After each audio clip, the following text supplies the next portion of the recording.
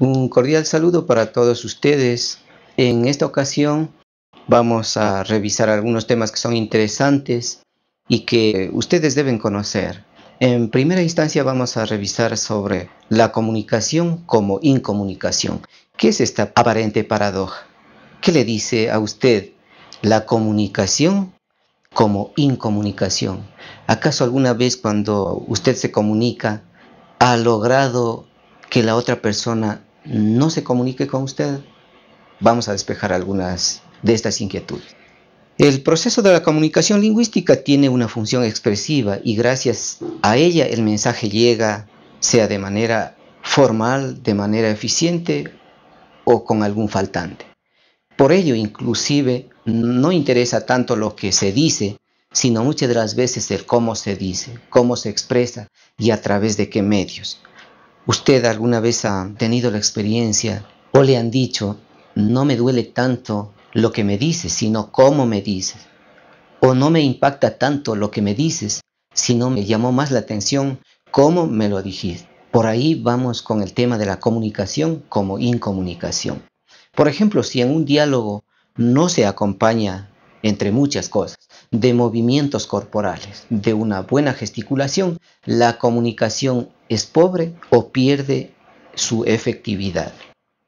Entonces, ¿Por qué tan importante los movimientos corporales, la gesticulación?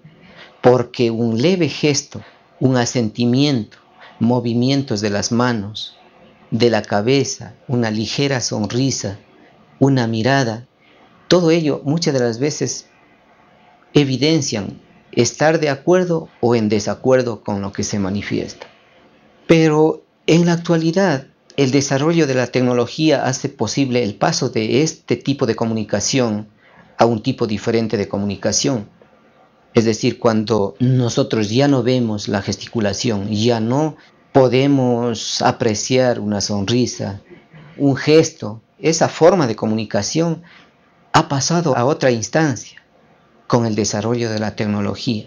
Por ejemplo, cuando utilizamos eh, el celular, la internet, el correo electrónico ya es una comunicación fría. Sí nos llega la comunicación, pero no a la manera inicial de lo que es una verdadera comunicación.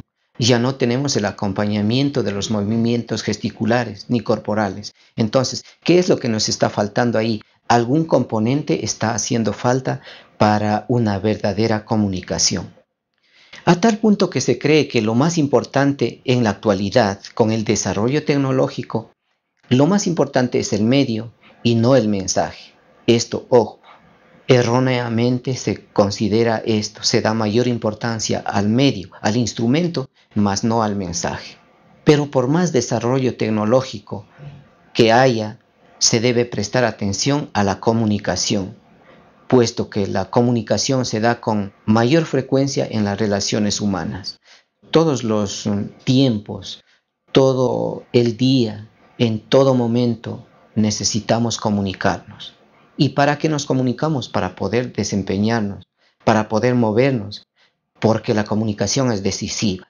Sin la comunicación, no sé, nos encontraríamos como seres atados de pies y manos, sin poder realizar nada en bien personal y en bien de la sociedad, porque recordemos somos parte de una sociedad. En la comunicación, para evitar la incomunicación, todos los procesos de la comunicación deben funcionar de manera efectiva.